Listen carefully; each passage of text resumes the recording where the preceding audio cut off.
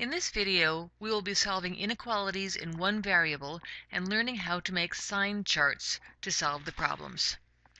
Let's start off by defining what is a polynomial inequality. An inequality is anything that is not an equality. So we have f of x is greater than 0, f of x is less than 0, f of x is greater than or equal to 0, f of x is less is sorry yeah less than or equal to 0 and finally f of x is just plain old not equal to 0 all of these are inequalities.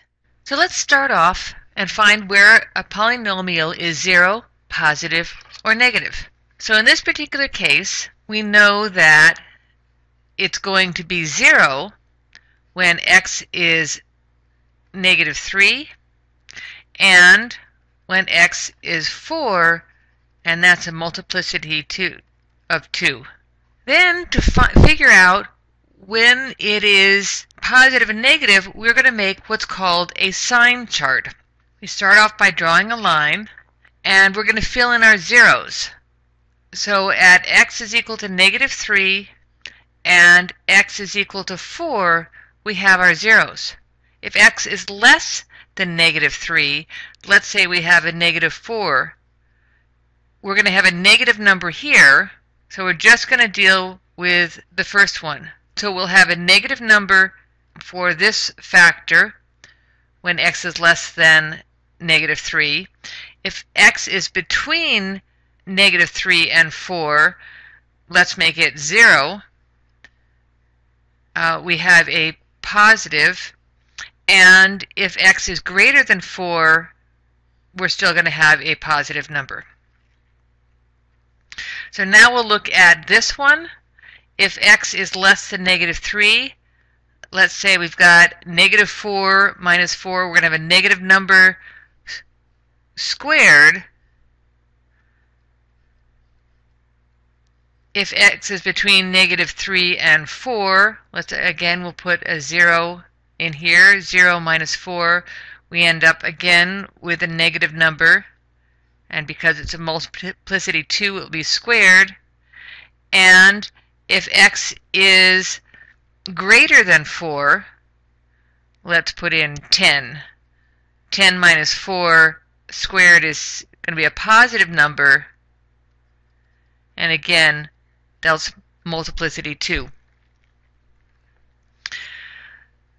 So in this section here, we have a negative times a negative, which is a positive times a negative.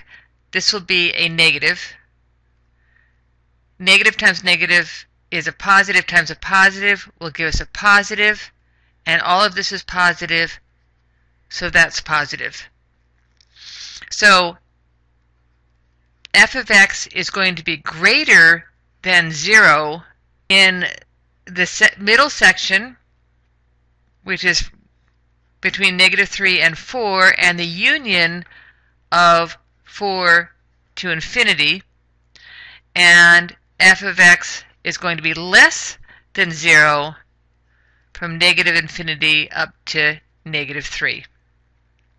When you're solving these problems, you need to look at the question that's being asked.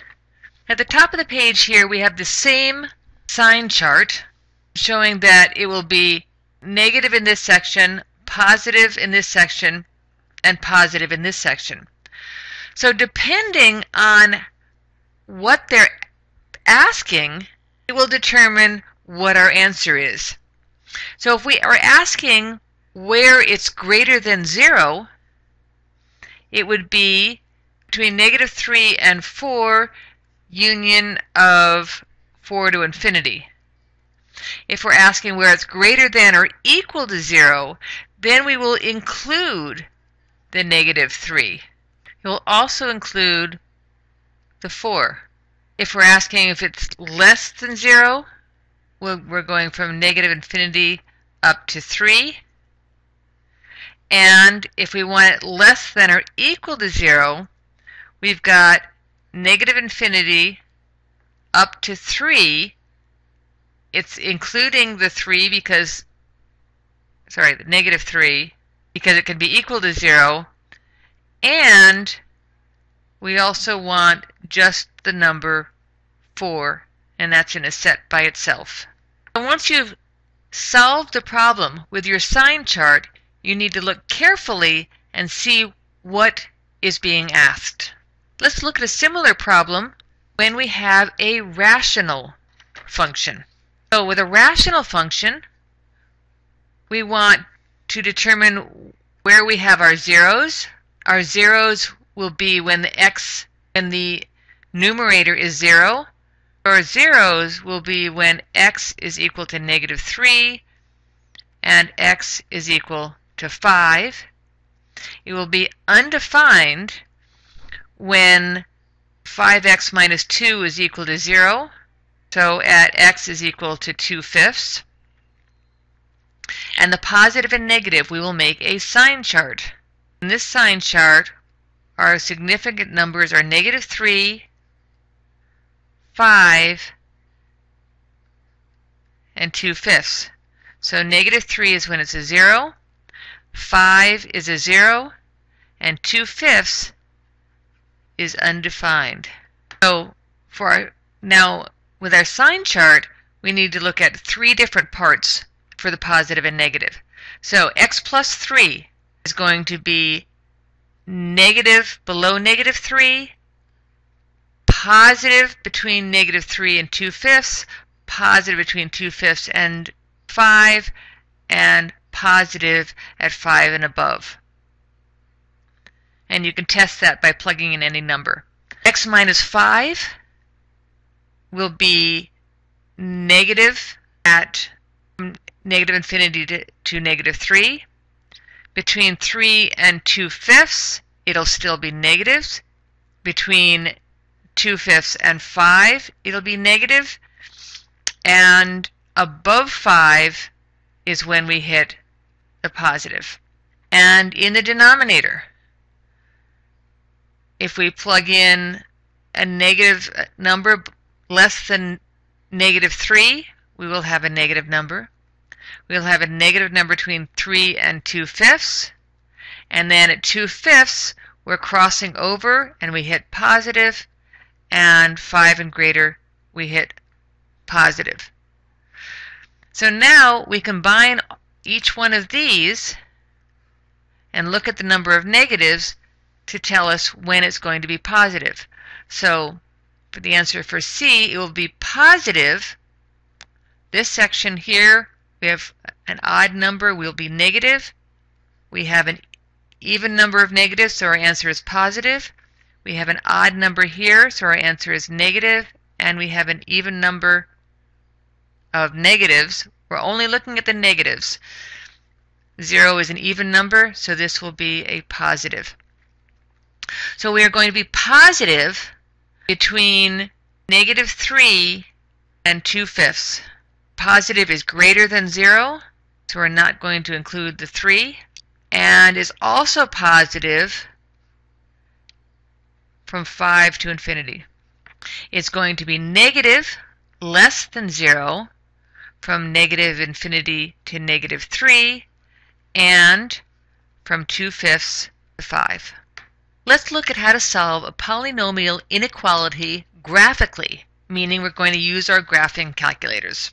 If we have this inequality, x cubed minus 6x squared is less than or equal to 2 minus x squared, first thing we want to do is to set it equal to 0. So we'll have x cubed minus 6x squared plus 8x minus 2 is less than or equal to 0. This is the inequality that we want to put into the graphing calculator as our function. So I've entered it into the calculator. Now I'll graph it.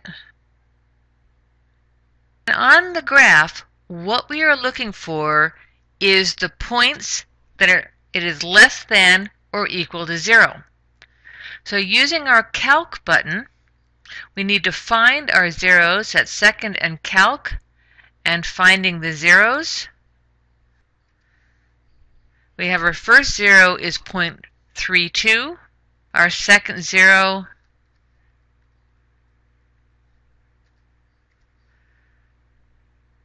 is 1.46, and our third zero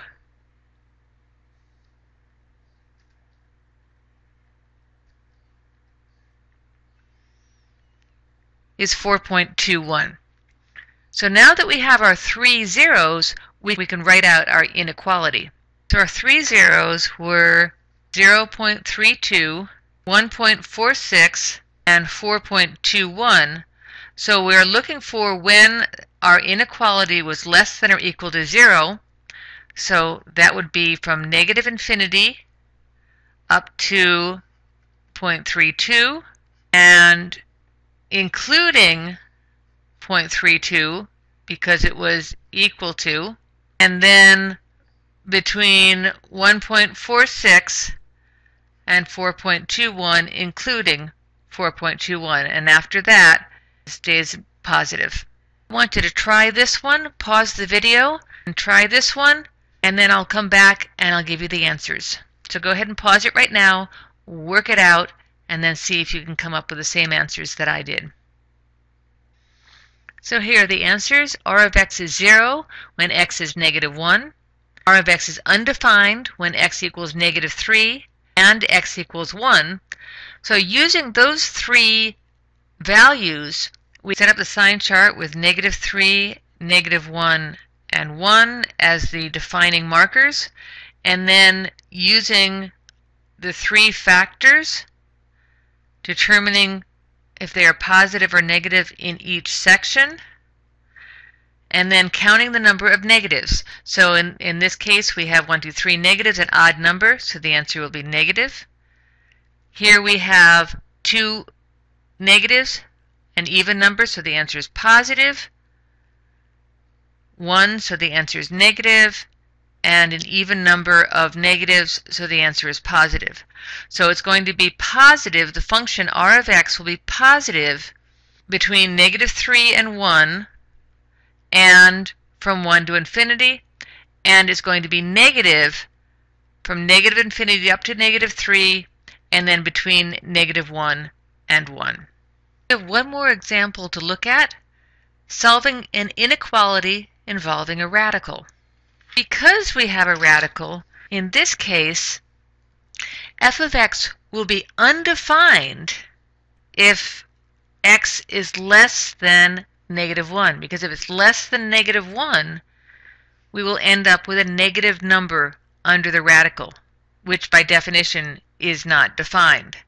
It's okay to have negative 1 because the square root of 0 is 0 but anything greater than negative 1 will end up with a negative number and undefined. So our zeros here will be at negative 1 and looking at this one here, x equals 2. So we will have our sign chart. We need negative 1 and we need 2. And below negative 1, is going to be undefined. At 1, it's 0, and at 2, it's 0. Between negative 1 and 2, if we have, uh, let's say we put 0 here, 0 minus 2 is a negative number. So for this factor, it's going to be negative. And then it crosses over and becomes positive at 2. By definition, this must always be positive. So between negative 1 and 2, we have 0 plus 1 gives us a positive, and anything greater than 2 is still a positive. So an odd number of negatives in this section makes it negative. An even number makes it positive. So depending on what we're being asked, here we're asking where is it less than or equal to 0? It's less than or equal to 0 on the interval between 1 and 2, and because of the equal, less than or equal to 0, it is including negative 1 and 2. And now, just for fun, sometimes you might need your toes. See you in class.